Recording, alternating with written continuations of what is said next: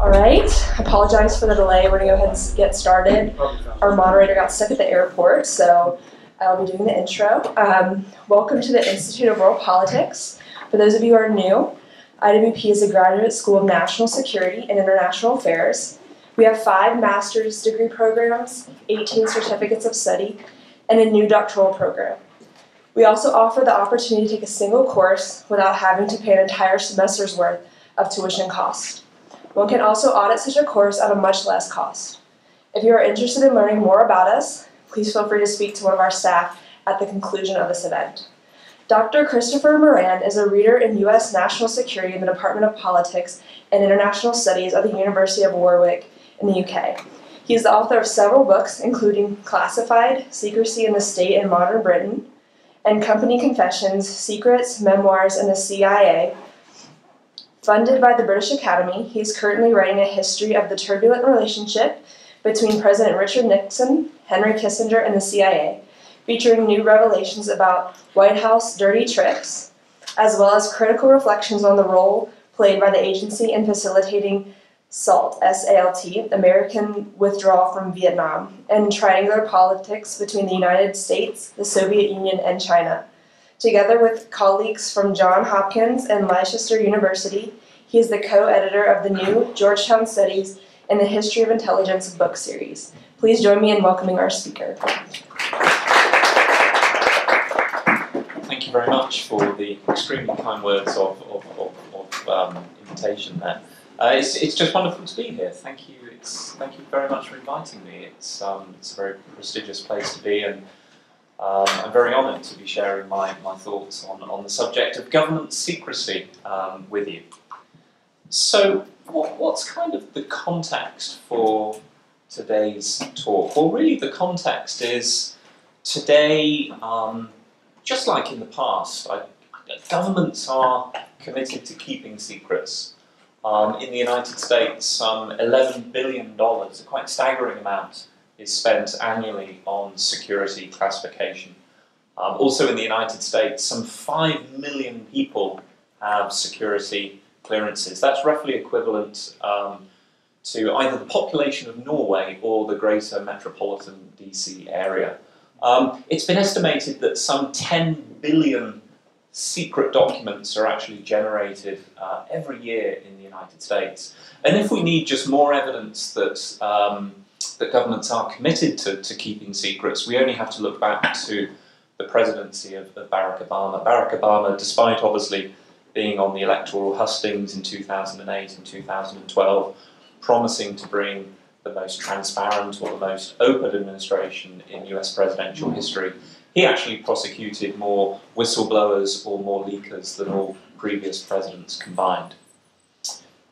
But the point I want to try and, and get across today is that while the, the appetite for secrecy among governments in the West remains strong, remains as strong as it ever has been, actually the ability to achieve secrecy has arguably never looked weaker. Um, over the last 10 years, we've seen a whole host of major revelations. Um, characters like uh, Edward Snowden, Julian Assange, um, Chelsea Manning, they, they, they roll off the tongue now. They've almost become legends in, in their own right. We've seen things like the Panama Papers, we've seen WikiLeaks. Um, obviously, right now, we've got impeachment hearings against President Trump stemming to a large extent from a leak from, um, from, from, from the CIA whistleblower. So governments want to keep secrets, but their ability to keep them prima facie seems to be getting harder and harder. And what I want to, to, to put to you is this. if we take Edward Snowden, when these revelations first came out, everyone has, in, in the media and commentators, they tend to been, um, they've tended to frame the Snowden leaks as being a crisis of privacy. Um, the Snowden leaks tell us, according to Edward Snowden, that US intelligence authorities, US government, is trying to monitor our, our, our, Facebook updates, our social media activity, our telephone conversations. Crisis of privacy. But I think the point that I want to, to, to, get across to you today actually is that there's also a crisis of secrecy going on. And actually, in the Pentagon, at Langley, at the FBI, it's that crisis of secrecy that is causing more sleepless nights for officials than any purported crisis of privacy. So, from the, from the perspective of officials, I would, I would put to you that the most worrying development is not government looking at us, i.e., revelations about privacy, but us looking at government. And this is a big issue for uh, in, in officials to, to, to, justifiably worry about. Um, positively, secrecy, I mean, it has its advantages for policymakers and national security practitioners. It allows policy options, um, potential intelligence operations to be thought about, planned, and executed, free from the hubbub of the political marketplace, free from the glare of public scrutiny. More negatively, of course, secrecy can be used to hide um, instances of illegality, wrongdoing. But whatever the motivation, um, clearly the, the, the, the, fact that secrecy is something of a diminishing asset is, is a major concern for officials right now. So this is just a little roadmap of, of where I'd like to take the conversation today.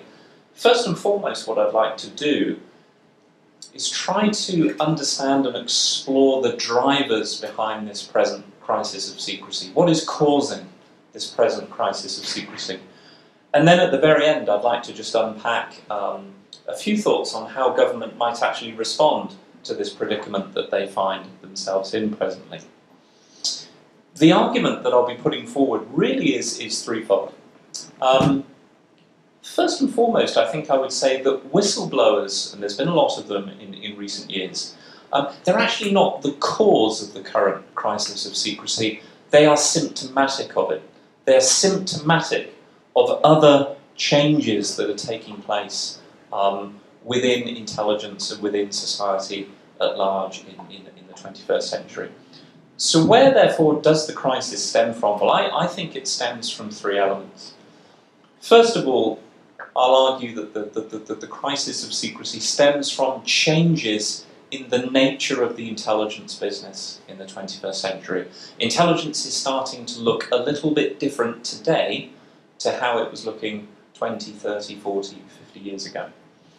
Secondly, I want to argue that the, the, the, the crisis of secrecy is being brought about by cultural changes within government, including the attitude of private contractors and IT community collaborators. One of the main points I want to get across to you today is that since 9 11, the US intelligence community has seen an influx not only of private contractors, but an influx of talent from Silicon Valley, from the Pacific Northwest, uh, and actually people that have grown up on the campuses of Berkeley and Stanford and UC San Francisco and UC Santa Barbara they're just wired a little bit differently. They're wired a little bit differently. They have different views of the national security state. They have different assessments of what the internet should mean.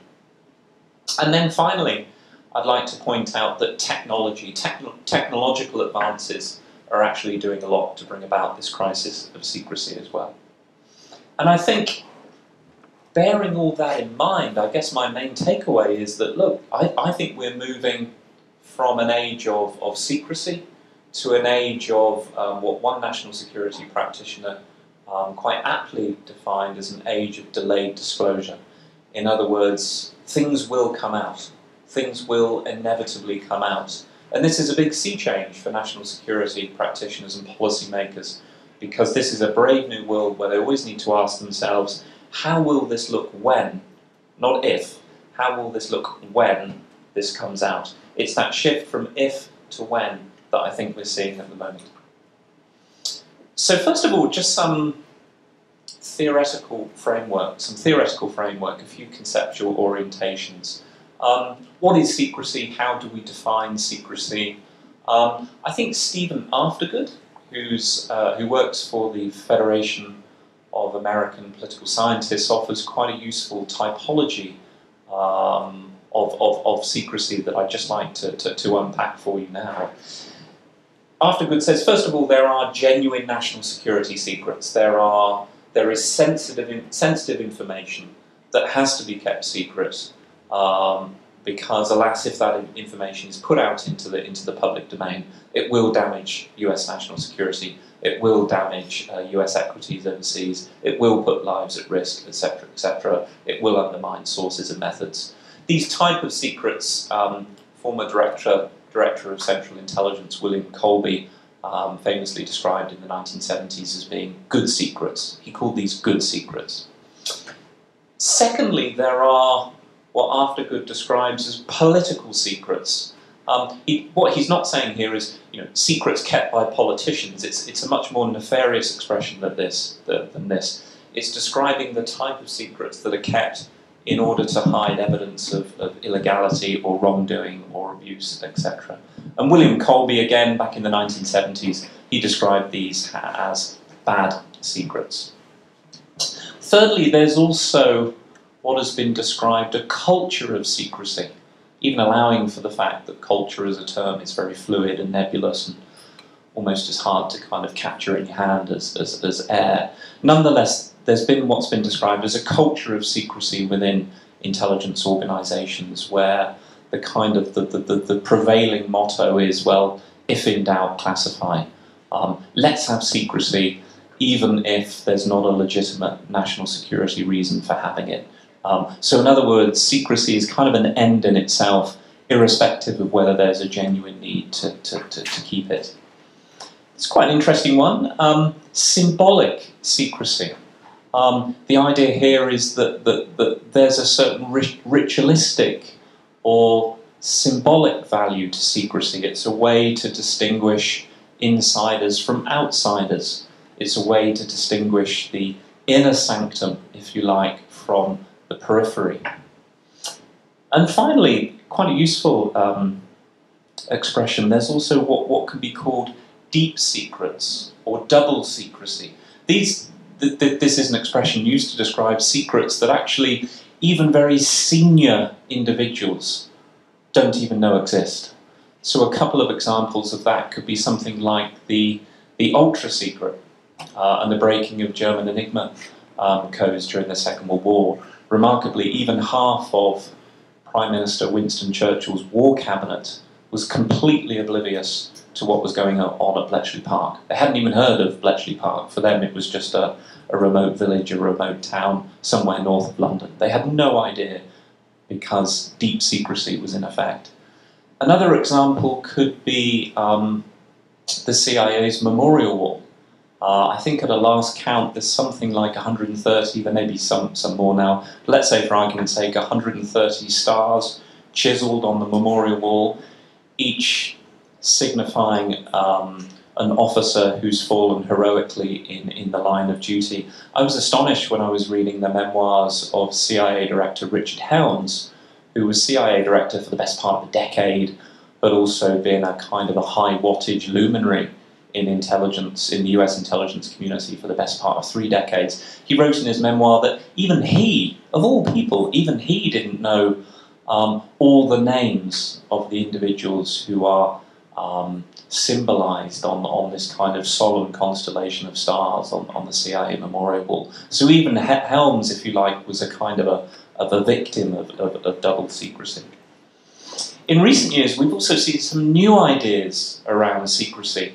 Um, brilliant book by um, Timothy Melley um, on, on, on cultures of secrecy, and particular, particularly looking at the popular culture of the Central Intelligence Agency. He says that we're starting to live in an age where secrecy sells. We live in an age where, as he coins it, um, there are spectacles of secrecy. Spectacles of secrecy. What, what he's getting at here, he's looking at films like Zero Dark Thirty, films like Argo. So these are films where the CIA's entertainment liaison office have worked with filmmakers, have worked with scriptwriters, and they've actually voluntarily, they've willingly put hitherto classified information, they've declassified it, they've put it into the public domain, and as a result, argues Timothy Melley, it's led to these spectacles of secrecy, where we can go to the multiplex, the cinema screen, and actually see secrets up on the silver screen. The political scientist Zygmunt Bauman, I think, offers some, some useful interventions in this area. He, he's written, he, he coined this idea of the Mobius strip I include a little image there on the right. Um, Bauman argues in the 21st century um, we have started to see a blurring between public and private. We've started to see a blurring between friend and enemy. We've started to see a blurring between intelligence and information, state and society. In other words, these binaries are starting to break down. I think we can apply that to some extent to the world of secrecy. Um, I think we're living in a world where secrecy and openness are, is, is a much more blended phenomenon. Um, we're, we're seeing a Mobius strip, a mishmash of transparency and secrecy at, at the same time. So turning then to the, the, the, the, drivers of, of the current crisis of secrecy. First of all, I would say to you, big data.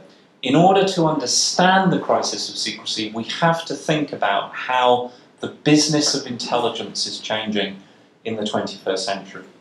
Um, you're probably all sat around the table right now with phones in your pocket. Uh, those phones are collecting information about you. Uh, we live in a world of big data. Um, actually, when I put this slide together, it was a couple of years ago now. It's probably this figure here is probably double, but um, human beings generate a staggering 2.5 quintillion bytes of data every day. In 2012, I'd love to see what the latest figure is. In 2012, the world sent over 8 trillion text messages. Uh, in the future, we will probably blink and send an email, but it won't be called an email, it'll be called something else. Um, our homes, our Amazon Alexas, our televisions, they're all smart enabled. They're all generating data 24 7. And intelligence agencies, they are, um, they are gathering this data. Um, they're storing this data. They like this data. They like this data. Why? Because, as it has always been the case, increased knowledge about the world is seen as a security solution. Um, increased knowledge is a way to mitigate risk in an uncertain world. Um, interestingly, just about two or three years ago, scientists from MIT actually did research that suggested that had intelligence agencies had mined and harvest, harvested social media prior to the Arab Spring in 2013, they actually could have seen this coming. They would have seen, through social media intelligence, they would have seen the Arab Spring coming six months before the Arab Spring took place. That's the type of data, the world of knowledge intensive security, the world of knowledge intensive security that, that, that, that we are now witnessing. And it is changing the intelligence business. The point that I want to get across to you here is that this new landscape, this new landscape of big data, it has ramifications for secrecy. And it has ramifications for secrecy because the ownership of secrets is changing. In this new world of knowledge intensive security, secrets, national security secrets, no longer belong to just specialized government departments. Actually, national security secrets are spread much more diffusely across government, local government, and business subcontractors. And then you've actually got private organisations that have no links to the national security state that themselves collect and analyse sensitive information pertaining to national security. So you think of things like airlines, banks, internet service providers. These are all bodies that are collecting and analysing very sensitive, potentially very sensitive national security information on a daily basis. So the point here is that national security secrets, which so long were an expression of national sovereignty, have become globalized and they've become privatized. And a key takeaway here is that whistleblowers, I would argue, absolutely thrive within this, this new connected security realm. And I think Snowden is, is a particularly good example of this. This is someone who sits right at the middle of that Mobius strip that Bauman was talking about between state and society, between public and private. This is someone who didn't work for the state so much. He worked for a private contractor, Booz Hamilton, but nevertheless had unbelievably remarkable access to privileged information. This is someone who knew that he couldn't extract the most sensitive information out of NSA headquarters at Fort Meade, but he could extract it in a facility on the other side of the Pacific in Hawaii, in Hawaii where he knew that the very latest security software had, had not been installed. Second driver of, the, of this crisis of secrecy, I, I think I would put to you that government itself is to some extent responsible for, for this current crisis of secrecy. So, a little bit of context here. After 9 11, all the various inquiries that took place concluded, a lot of the inquiries concluded that it was absolutely imperative that national security agencies move from a culture of need to know to need to share. Uh, one of the big lessons learned from these various inquiries was um, had these agencies prior to 9/11 played a little a little better with others, um, if the information had gone in the right hands at the right time at the right place, this thing might have been avoided. So what you see post 9/11 um, is kind of an orgy of sharing, and and and I, I think I would put to you really that the shift from the need to know principle to the need to share principle, it went a little bit too far. I think I I don't think I'm sort of you know saying anything particularly outrageous here. I just think right now there are far, far, far too many people in the United States and in the United Kingdom, uh, my, my, my home country, far too many people with access to sensitive security information. As I said earlier, some 5 million people in the United States um, currently have uh, classified um, access. Staggering statistics some 600,000 people had access to the Pentagon system that Chelsea Manning had access to, uh, the system that allowed him to, to pass this information along to, to Julian Assange. We now know that um, post 9 11, under unrelenting 24 7 pressure from the Bush White House to do something about intelligence, a lot of a lot of security contractors, a lot of a lot of people were actually just given interim clearances uh, interim security clearances that were just kept on ad infinitum without a proper review. So far too many people being given um, access to sensitive information, and just through sheer dint of numbers, that, that is problematic. It's it's a recipe for for disaster. But I think this, there's actually a twofold problem here. One, as I say, um, lots of people, more people have access to secrets. That in itself is problematic. But what's what's also problematic is actually who these people are. Culturally, philosophically, a lot of the people that now have access to secrets, they just look very different to the holders of secrets from the height of the Cold War. So I would put to you really that the slightly um, controversial position that for many people who work in the national security space today, intelligence it's not a privilege, uh, it's not even a career, and it's certainly not a calling. So CIA Director Richard Helms, in his memoirs, he describes working for the CIA as a calling, almost sort of describes it in sort of quasi-religious terms as, as, as a calling. I think for a large chunk of people working in the national security space today, that's just simply not the case. Working in intelligence, it's a job. It's, it's a job just like any other.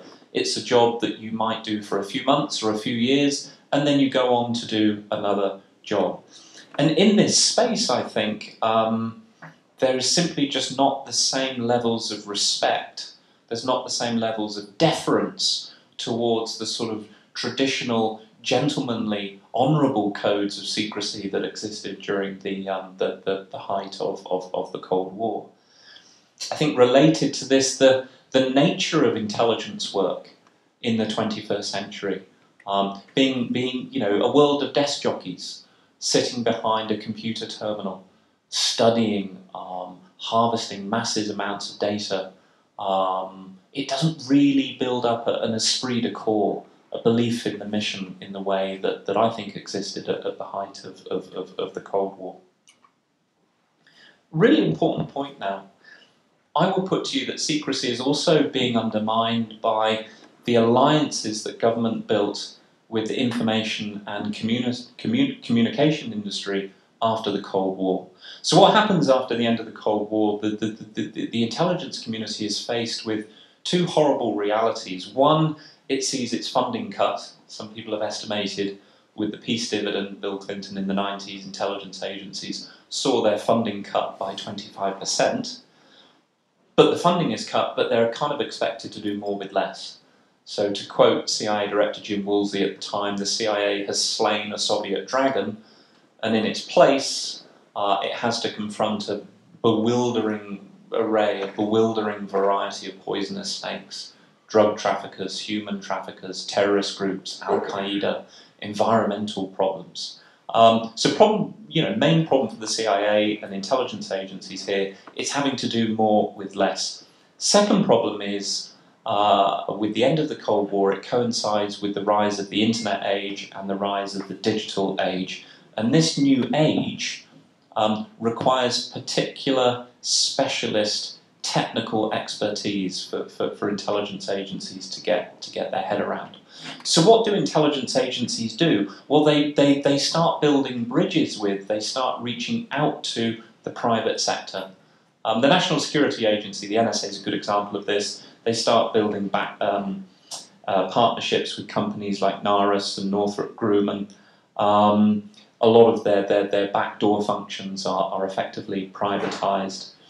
Very interesting. The book on the right, Michael Hayden, former NSA director, playing to the playing to the edge. In this book, he actually said that his alliance that he forged with the IT industry at the end of the Cold War and after 9/11, he called he called it the smartest thing he ever did. He he was incredibly proud of his efforts to merge the world of intelligence with the world of planetary scale computing.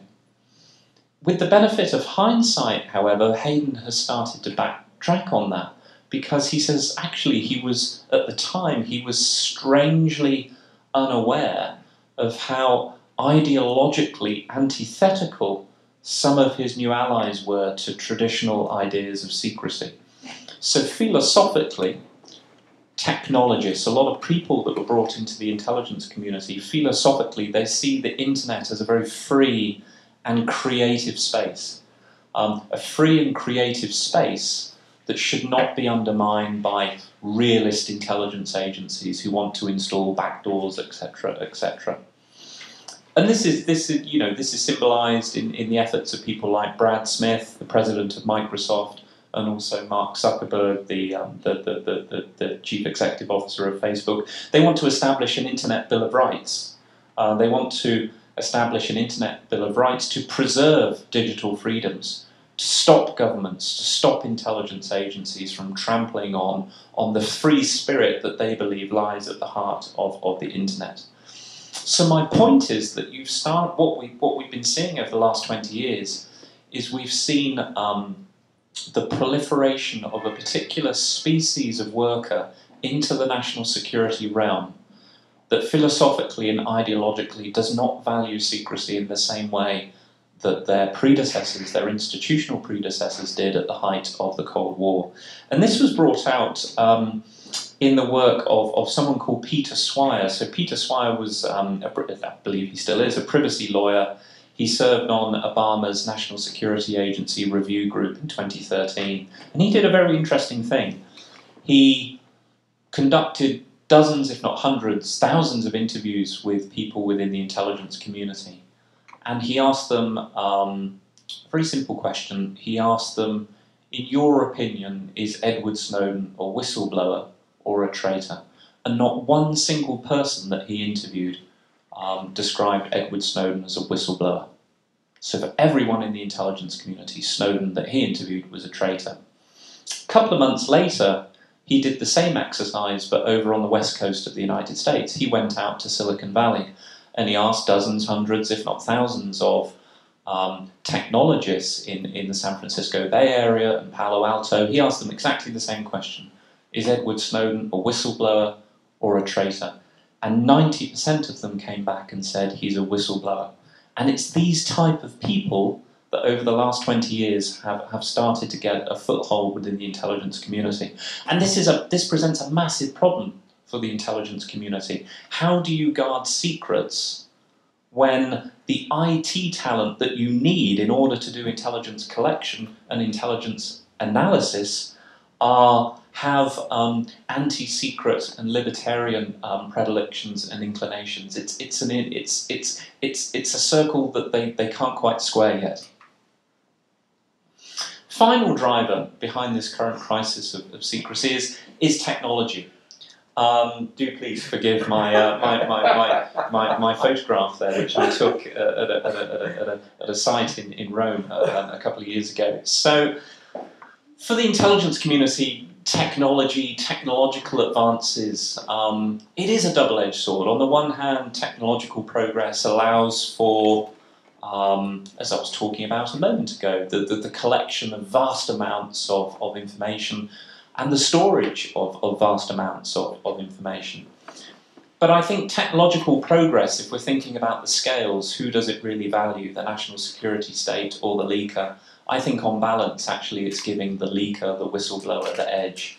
So if you go back to the 1970s, the era of Daniel Ellsberg and the Pentagon Papers. So it took Daniel Ellsberg the best part of 18 months working at a photocopying house in Washington, D.C. through the night at a cost of 10 cents per page. It took him 18 months to photocopy 7,000 pages of a Pentagon Papers report.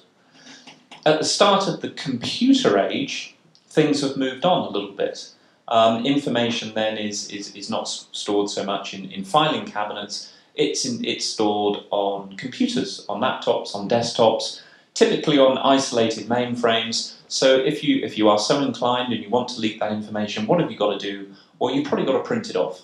Uh, in the 1980s, the 1990s, there aren't things like you know USB drives or CD-ROM drives. You've got to print this off, and then you've got to uh, then you've got to evade security personnel, presumably carrying lots of photocopies in your rucksack. It's quite a difficult thing to do. Today, however, you know, there's just lots, and, and, and Snowden has shown this, and, and, and Chelsea Manning has shown this. Today, lots and lots of sensitive national security information is stored on personal computers uh, with connectors for things like flash drives. Um, and, and, and it's much easier, I think. It is much, much easier to, to, to, to get, if you are so inclined as a leaker, it's much easier to get your hands on vast amounts of information today and to get it out of the building than it has ever was at the height of the Cold War. Another big change, so if, if you go back to Daniel Ellsberg's day, he, he, gets his hands on the Pentagon Papers. He wants to bring this to public prominence. How does he do that? Well, he's really got two options. He either has to write a book about it, which is, you know, could take six months, could take 18 months, could take two years, or he has to go to um, the newspapers and he has to hope that someone like the Washington Post or Katharine Graham or the New York Times will go along with his plan to publish the information. Today, your leaker can do that. They can write a book, they can go to the newspapers, but they have a host of other means available to them to get information into the public domain. And they can do it much quicker. You know, the internet, it, it is a space, it is a forum, it is a ready made and available forum for um, the illicit disclosure of, of, of, of information. You know, we've seen WikiLeaks, there are a whole host of WikiLeaks clones now. They all offer um, these encrypted drop boxes that, um, in theory at least, allow leakers to take classified information and to drop it into a drop box and have their anonymity um, to, to, uh, have their anonymity preserved. And I think this um, this phenomenon, this shift to direct dissemination on the internet, it, it, it is an important shift because it removes the journalist as a potential middleman. And sometimes the journalist, as a middleman of a leak, can be a restraining or a constraining influence. So if we go back to 2005, 2006, the journalist Dana Priest has ascertained details relating to the CIA secret prison, CIA rendition programs. Um, actually, I think it was her intention to put all of that out into the public domain, but because going through the press was her means to get that information to the public domain, officials were able to lean on her editor and say, actually, we need to show restraint here. Um, we don't want, for example, you revealing the names of the people um, uh, involved in this program. So WikiLeaks, the, these encrypted drop boxes that have anonymizing software, that allow for direct dissemination, direct document dump on the internet, it's, it's a big sea change. It's a big sea change. And it's been predicted, I, I thought this was quite a nice way of, of, of, of phrasing it actually. I was talking to um, uh, uh, uh, an engineering professor on my university campus, and he's, he, his prediction was just as efforts to stop music and film sharing on the internet have failed, so will attempts to stop the technologically enabled leaker. So I'll just bring this together now. I mean, clearly, clearly it would be hyperbole, it would be incorrect to say that there, there, there, there, there's an end of secrecy. You know, secrecy is over, and within 10 years there, there, there, there won't be any secrets. I don't want you to, to think that that's my main takeaway today. What I want you to think is my main, main takeaway is that the shift is that today governments can no longer confidently predict how long they will be able to keep secrets. The shelf life of secrets, the half life, that's probably a better word to use, the half life of secrets, I think, is, is much shorter today than it has been in the past. I also think another thing that we've seen is that in, in recent years is that you know, if we go back to, to, to the 1950s and the 1960s and into the 70s, the secrets that started to tumble out were what I would call historic secrets. So the secrets that were coming out in the 1970s were about activities that had taken place 10, 20, 25 years, 30 years, 40 years in the past. Today, history has been accelerated. History is a lot closer. A lot of the secrets that have come out in the 21st century are about 21st century intelligence activity. That is a big, big change. That is a big, big change. And this is important because as current secrets, as contemporary secrets become known sooner, so the cost of transparency becomes higher for intelligence agencies. So recognizing that it's harder to keep secrets if you're a covert action planner, um, if you're planning an operation, you know, you might think twice. You might think might think twice about signing off on this operation. Um, I think I put to you that spy chiefs in 2019 need to do what I would call the tweet test uh, before signing off on an operation. They need to ask themselves, how will this look in 10 minutes on the internet in 140 characters? And I think more so today than ever, the the rule of thumb that CIA Director Stansfield Turner applied in the late 1970s should be followed. So CIA Director Stansfield Turner said that he would never sign off on anything that, if disclosed, he couldn't justify to the public. That he didn't think he could he could justify to the public. I think any national security practitioner today, commander in chief, policymakers, follow the Turner rule. If you're going to sign something off, if this comes out, are you confident you can justify it in public? Just finally, how else can government respond, or how else is government responding to this current crisis of secrecy? Well, we're seeing we're seeing several things. One thing they're doing, uh, um, this, this, this this this particular thing I'm going to tell you. Let, let us put this particular bit under, under Chatham House rules. Um, national security agencies are live streamed. Ah, Yes, of course. I, I actually, I, we can probably we can probably let this one um, let this one go. So, um, just about.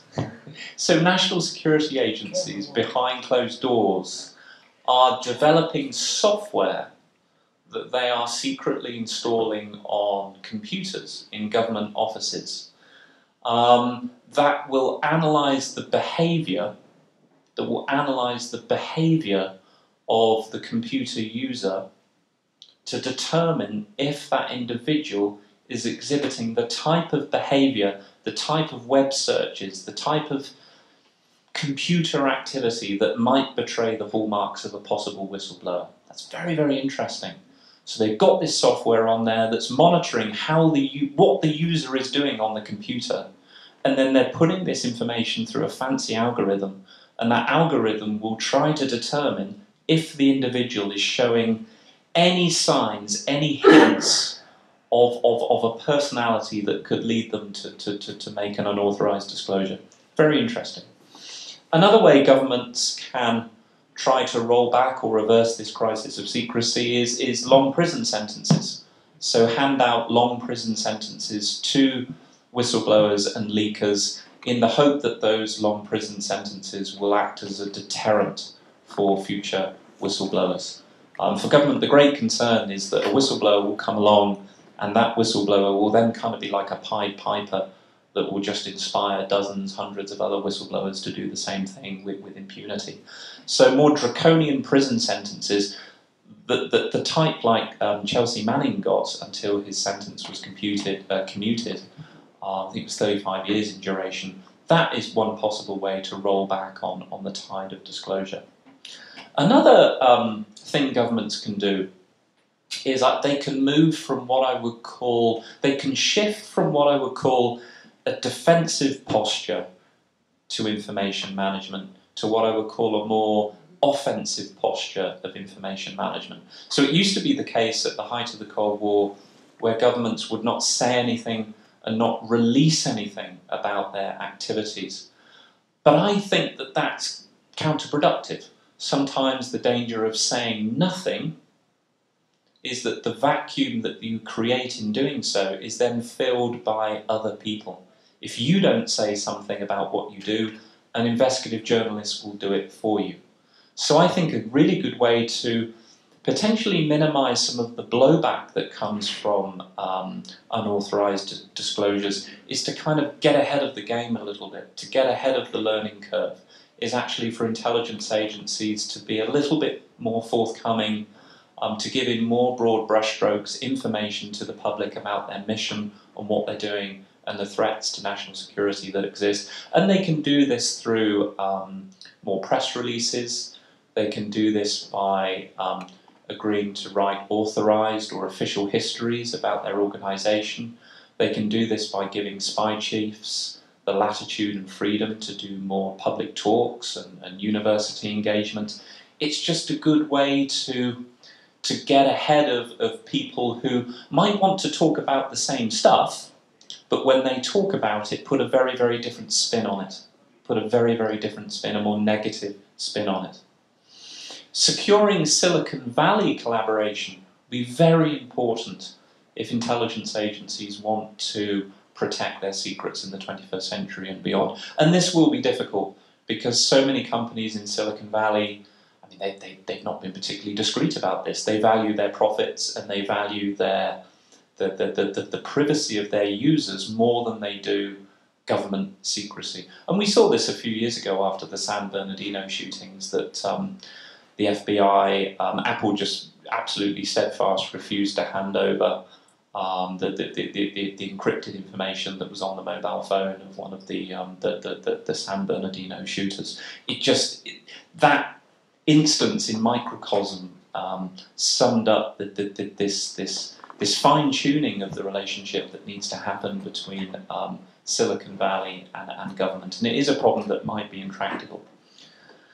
Another thing we might see, and this will be my, my final point, and this, this really is, is, is something for you perhaps to, to chew over, and I've got no more um, e evidence um, for this beyond just a, a final point.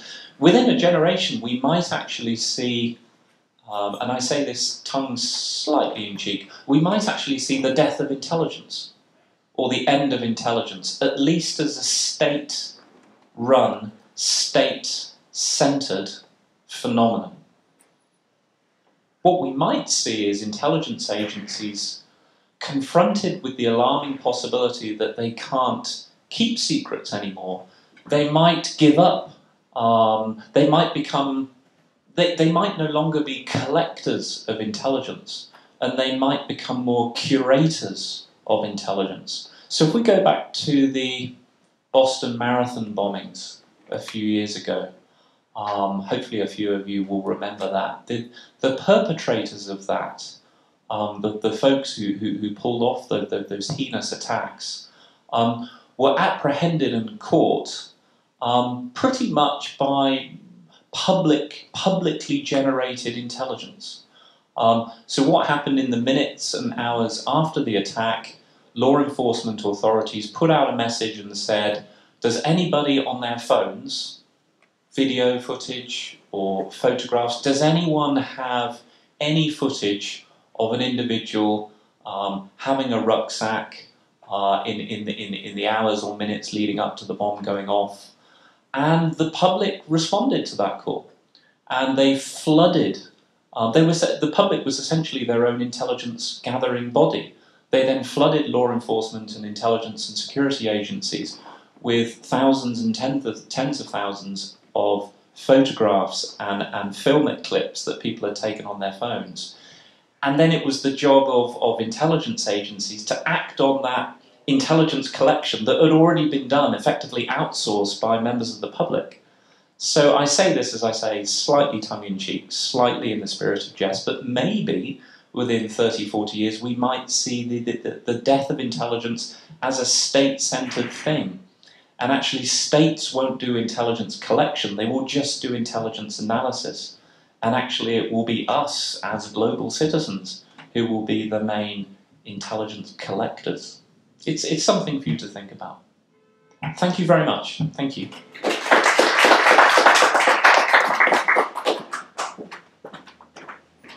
I'm more than happy to. I, I'm sort of my own, my own speaker and moderator this evening in the absence of our of our friend who's who's caught at, at Reagan. Um, so delighted to take some questions. The gentleman, the gentleman at the back, yes. Yes, sure. Um, um, Augustus Alzon, my name. The in, in terms of uh, just put this my question in context, uh, it's my understanding that uh, President Trump had allegedly threatened to hold the security clearances uh, clearances of General Hayden and uh, uh, and then, of course, there's this this sort of brouhaha going on again about uh, John Bolton his mm. his being I, I sort of have kind of a almost a personal interest since Bolton lives, you know, within, sure. within a half mile of me. We used to see him out there on Fernwood Road back in the day. But anyway, um, is. Um, I'm just wondering uh, what what would, um, in your opinion, if you were to make an educated guess, I mean, why would, why would, what would have advised the president to even consider doing that? And if the president had pulled General Hayden's security mm. clearance, what kind of impact? I mean, uh, does does is not having security clearance sort of a liberating thing to be able mm. to tell the whole truth, the truth, and nothing but the truth? And in terms of John Bolton, which is sort of the ongoing saga, continues what sort of an impact, at least maybe on the investigations concerning war crimes committed in the 21st century. Uh, we have had. Realize there are two questions. Yeah, it, it's on, on the issue of security clearance. So um, I don't know the precise chronology here. So in terms of when Trump tried to, to, to, revoke the security clearance of Hayden, but I'm, I'm surmising, I'm guessing that um, it came after or coincided with the publication of Hayden's later, latest book, uh, which I think is called something like uh, Assault on Intelligence. And it's, it's Hayden's account of how, in his view, um, since becoming the president, since becoming commander in chief, President Trump has said some pretty strong, had some very, very strong words to say uh, about about the U.S. intelligence community. I think you know there was one instance a few years ago where Trump even compared the CIA to, to sort of Nazi propagandists. So I'm, I'm guessing it was it was that book by Hayden that probably prompted Trump to consider revoking um, Hayden's security clearance. Uh, I think it came around the time when uh, General Hayden put out that uh, the tweet or posted a picture of one of the Nazi war camps concerning, you know, drawing the whole thing about right. the whole refugee thing. It, I think it was around that time. Th- this one could be a real legal mess actually because for a number of reasons. Actually, it is the right of every retiring, every departing commander in chief, every previous president, it is their right, and that this, this precedent was established, I believe, dating back to the Eisenhower period. It is their right to be given um, the presidency, uh, well, it's now an all community product, but it is their right to be given the presidential daily brief after they leave the White House. So Barack Obama will still be receiving what Donald Trump is receiving, or perhaps a slightly modified, truncated form of the daily brief that, that, that, that Donald Trump is, is receiving. But as a president, even as a past president, the commander in chief also has the unilateral legal authority to downgrade that material by himself.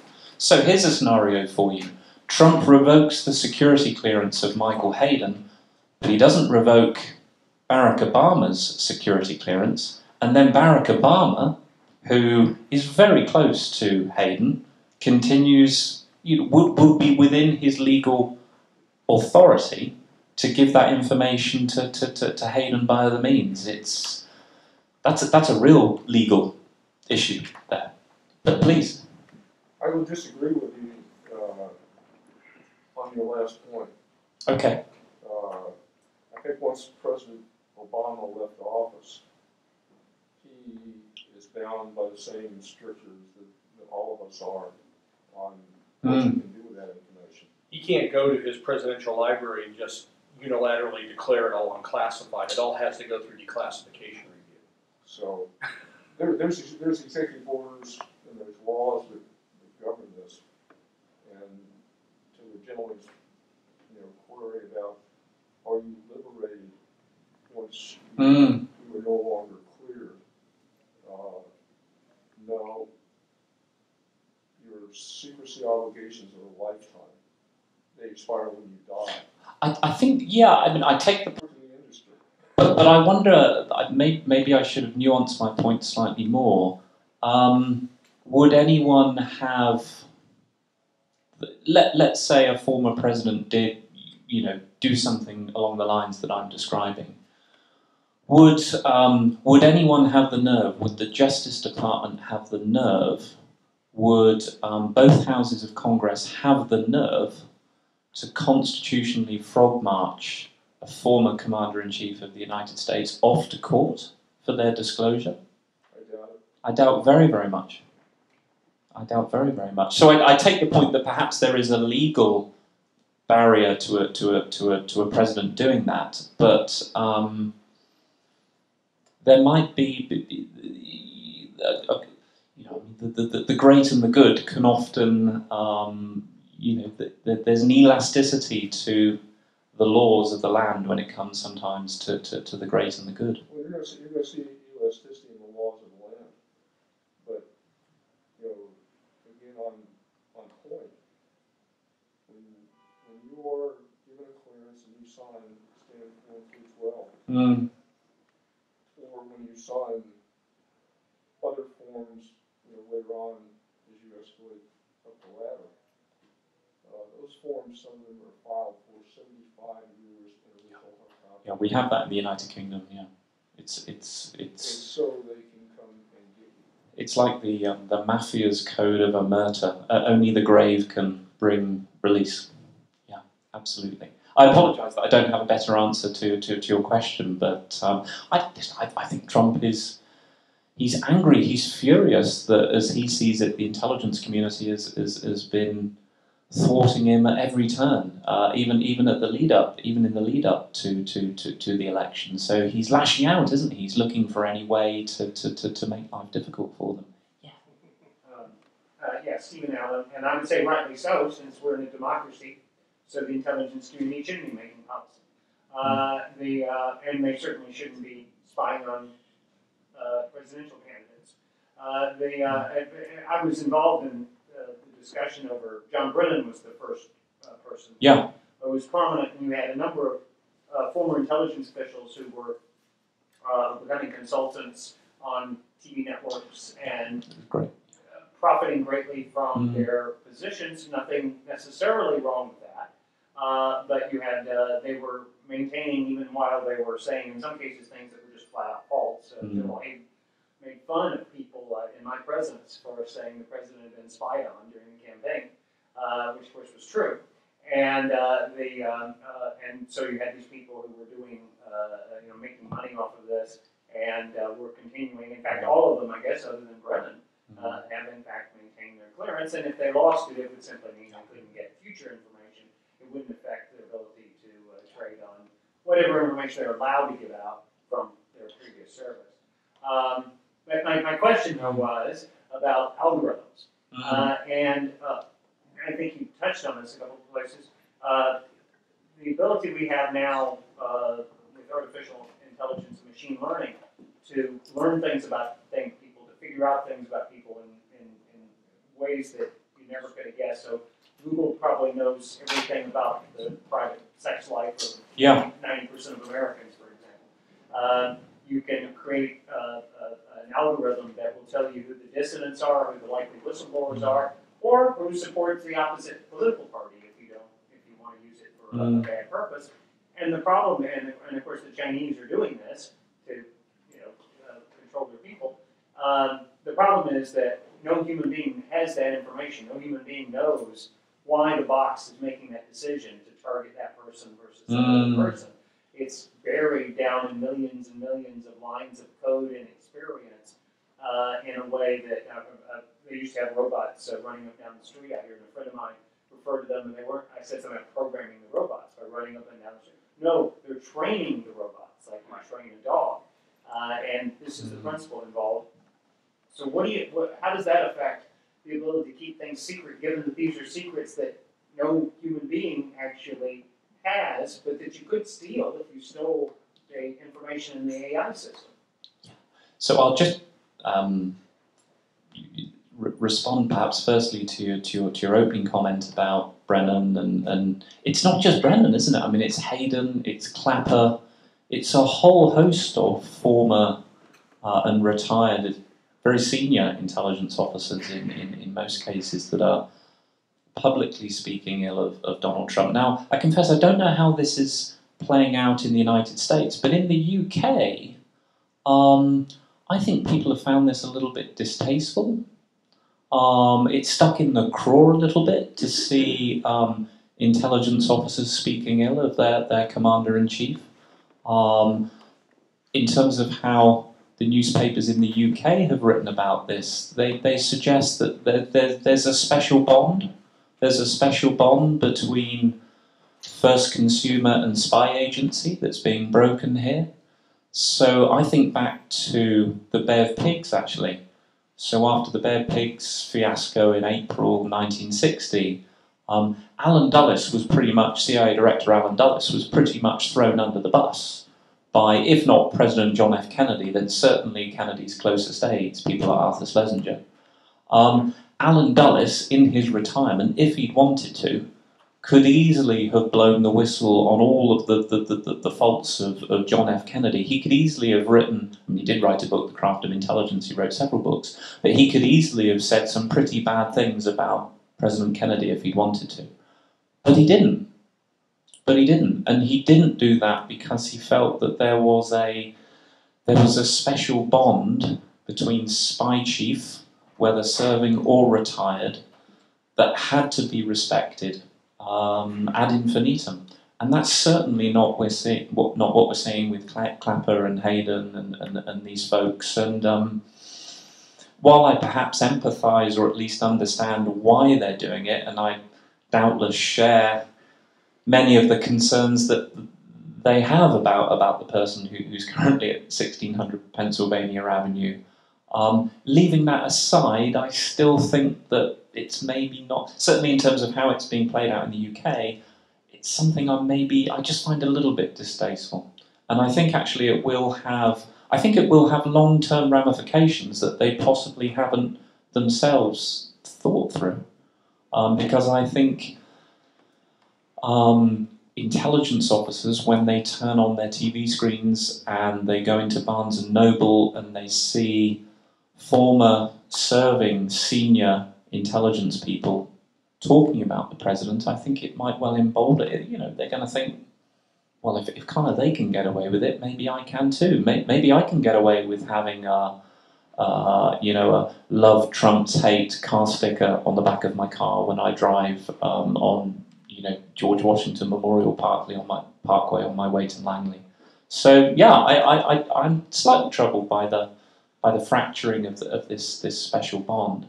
Um, in terms of the, uh, the, the, the, the algorithms and how um, you know how national security secrets that are in the custody of, of Silicon Valley and, and the tech industry can be protected by intelligence agencies. I think this is a huge problem. And, and one, one good example of this, actually, it was in 2009.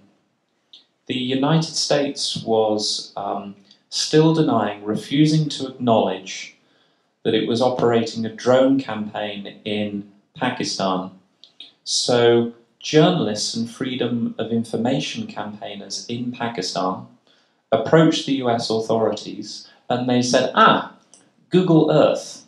I've been on Google Earth, and there's a mysterious black patch over what I'm fairly certain is an airbase in northwest Pakistan. Can you declassify that, please? Because if you declassify it, I'm fairly certain we're going to see predators and reapers on, on, the, on the air patch there.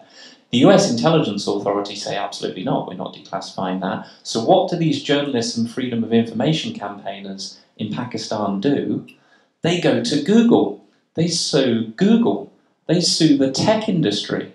And they're successful. Uh, and and, and, and, and in, in, in this kind of remarkable moment, Google Earth ends up having to relent. And then suddenly, you can see all of these sort of um, the, the, the, the, predators and the Reaper drones at, at the airbase in Pakistan. And so the, the point here is that civil society got access to information about a sensitive government program, not from the US government, but through one of the US government's private collaborators. So, in answer to your, in answer to your question, I think it's going to be very, very difficult to keep anything that's being done by the private sector at the behest of the public sector secret. Very, very difficult indeed. Yes, sir. express Last question, please. Uh, just want to express some skepticism about the potential for big data tools. Uh, it does not being able to store, retrieve, process data does not generate the data that you need to train the model. Okay. Does not what, so. Does not generate the data you need to train the model. Yeah. Okay. How many uh, cases do we have of leakers? Mm. A you know a substantial number, but not a large number. We have lots of data on purchases on Amazon. Mm. Okay, those are frequent observations. Okay, you're you're not going to be able to train any model uh, based on five cases and you know five billion non-cases. Okay, so it's uh, we, we've had big data for decades in the financial industry. Mm. Every, you know, stock uh, uh, exchange is recorded. Lots of models do very good backcasting. None of them are any good forecasting. Yeah. Um, I mean, I, I the, the principle that there's a principle uh, with, within your comments there that, that I do agree with, uh, and I, I, increasingly agree with, which is that um, private companies are the big generators of intelligence in the 21st century, not necessarily governments. In fact, I was astonished in the in the fallout from the Snowden case, certainly in terms of how it played out in the UK media, that. Um, newspapers like The Guardian and their, their, their, their, their friends and allies in civil society, civil liberties groups, etc., their ire, their venom, their anger was coming out at NSA and was, was, was firmly in the direction of GCHQ. But there was scant acknowledgement of the other stuff that Snowden was revealing was actually there's these tech companies, there's Amazon, there's Facebook, there's Twitter that's just collecting all of this stuff for commercial reasons, not for national security reasons necessarily, but for commercial reasons. And even in the UK media, at least, when the Oxford Analytica and the Cambridge Analytica scandals broke, e- even now, I don't think the, the, these hard, harsh questions, I don't think the glare of public scrutiny is shining brightly enough on private corporations and their intelligence collection in bulk. It doesn't shine as brightly on them as it does on, on the government. And that probably stems, you know, government has had its Watergate, it's had it, it had its Vietnam in the 1970s. Trust in US government is at an all-time low. Um, the US tech industry, private companies have not had their Vietnam yet. They've not had their Watergate. There's still public faith. There's still public trust in what goes on in Palo Alto and Silicon Valley. People like Steve Jobs are held up as, as, as sort of heroes, as martyrs. Um, but I think when they, when they have their Watergate, things will change. Things will change. I, we might just have, yeah, a, a quick, one last quick question. Has the UK ever had this problem of whistleblowers? Yeah, a- a- a- absolutely. So um, there's an interesting story here. So the first main disclosures um, from British intelligence professionals um, came in, in the 1970s. So people like John Masterman, who was the chairman of the um, the Double Cross Committee, the, the, the wartime deception uh, in, outfit in, in the United Kingdom, he was encouraged to write a book on this by the British government in the early 1970s. And then a couple of years later, in 1974, Group Captain Frederick Winterbotham was permitted by Her Majesty's government to write a book called The Ultra Secret on what took place in, in Bletchley Park. These books were sanctioned by the British government as a response to nasty revelations about the Cambridge Five. So in the 1960s, the treachery of Burgess, Maclean, and Philby, especially with his they were they were traitors, yeah. So the British government decides that it needs to wrestle back the narrative of British intelligence and British intelligence history. So they do this. They launch this counterblasting offensive by sponsoring these wartime histories. But they weren't whistleblowers as such. But then what we get in the 90s, I mean the first main intelligence whistleblower, I suppose, in, in the UK context would be Peter Wright. So Peter Wright of Spycatcher fame. So he was, if memory serves me, serves me correctly, he was an assistant to the director of MI5.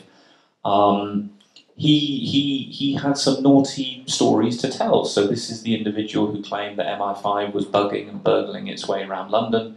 This was the individual who claimed that MI5 had been secretly spying on Prime Minister, the Labour Prime Minister, the left-wing Prime Minister Harold Wilson. Uh, so he was one of the, the, the main advocates of the so-called Wilson plot that, um, that, that argues that MI5, the security service, was trying to get rid of Harold Wilson.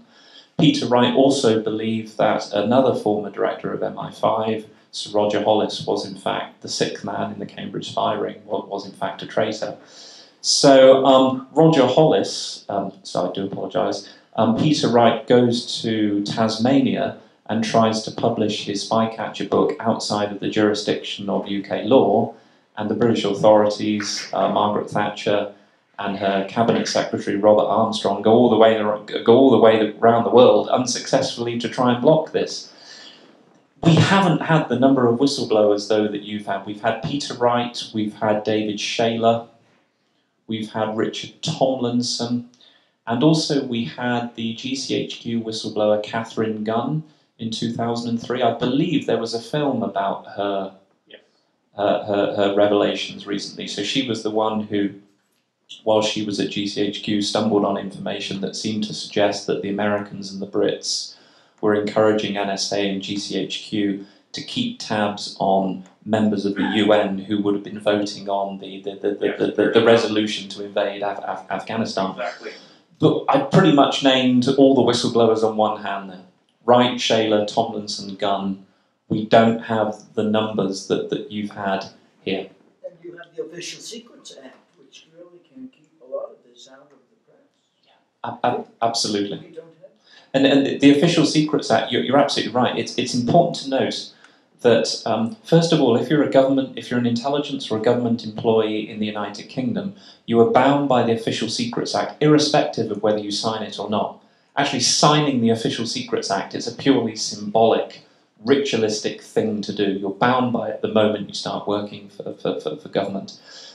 But the Official Secrets Act is important because, and this is why I don't think you see so many whistleblowing cases, because the Official Secrets Act makes it a criminal offence for the government employee to leak the information, but it also makes it a criminal offence for the newspaper to publish it as well. And I don't know if you've got anything similar, probably nothing approaching that at all. All we have here is the Constitution of the United Yeah. States against all enemies, foreign or domestic. Yes, but it says if you have it, you can print it. Yeah. And that's your uh, freedom of speech. We've had, we've had a few cases going after reporters, but that's considered a sort of a scandal. If you Yes. out about it, you're, that's, you're going to come in for heavy criticism. Yeah. So I think with, with that act in, in, in operation, um, it, it's had a chilling effect. It's had a chilling effect on the whistleblowers, but also on the conduits who would be blowing the allowing them to blow the whistle, namely the newspapers. If I may add one more advantage that you have is that you have retained small intel organizations. Hmm. Our problem is you didn't mention, we had the peace dividend when, when we downsized tremendously, and then we had the build-up after, when we hired tens of thousands. I think you've got 23 intelligence organisations, is Yes, that right, in the United tens of States? Thousands of new analysts off the street. When Hayden told us in '06 that half of analysts have had less than five years of experience. Wow. So, and then you try to deal with that problem, when- and, and then complicating the, uh, you know, the, the, uh, the technology age, what's easy to. Mm. But that is, I think, is, I would add to your discussion that this is one of our great challenges to this day, and you remain small, Mm. and the quality is better, I think. Oh, of course. Well, we've certainly got our challenges on the horizon with Brexit, which would be quite interesting. in terms of intelligence sharing, it'd be very uh, interesting too. Thank you all, all very much for coming along.